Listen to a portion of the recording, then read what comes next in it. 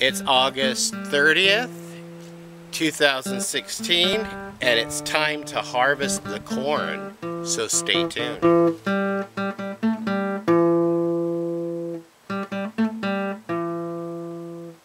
Hi, welcome back to Pine Meadows Hobby Farm. I'm your host Jerry Hansen. Today we're in the garden and we're going to be harvesting the corn.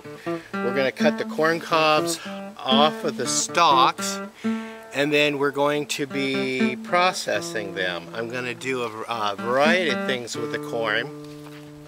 One is, of course, preserving corn uh, for food for later through the winter and, and spring. Another thing is taking the smaller corn and drying it out and then taking the kernels from that and processing it through a little uh, home mill I have and feeding it to the animals to supplement their food for through the winter. I'm also going to take one of my best cobs and we're going to hang it from the rafters of my tool shed, let it dry, and then I'll harvest those for seed crop for next year. There's a nice corn cob right there. Yummy. We're going to have corn cob for dinner tonight. Look at that. Ooh, that is yummy. There's some chicory growing among my corn.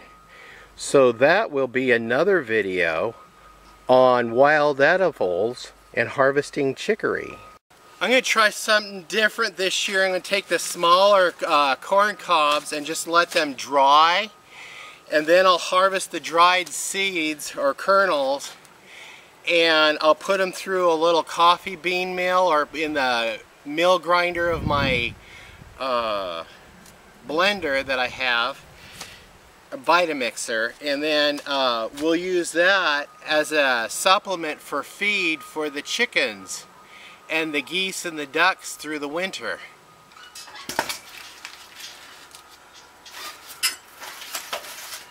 We got the corn harvested, now it's just time to sit around and shuck it.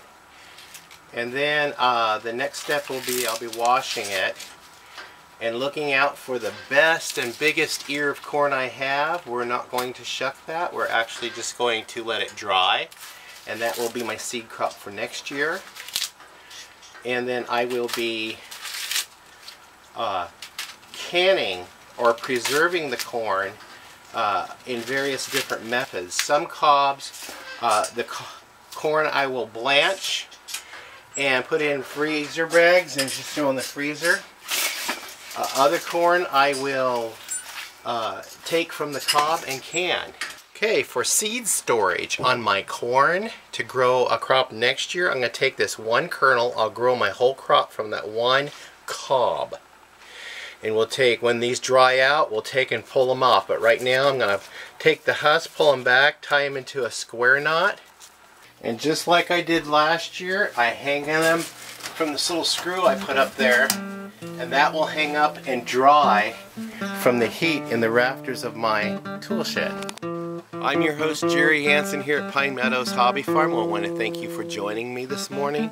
Please subscribe, give me a thumbs up, and leave a comment. I always like reading your comments. and Stay safe. We'll see you guys later. Bye-bye.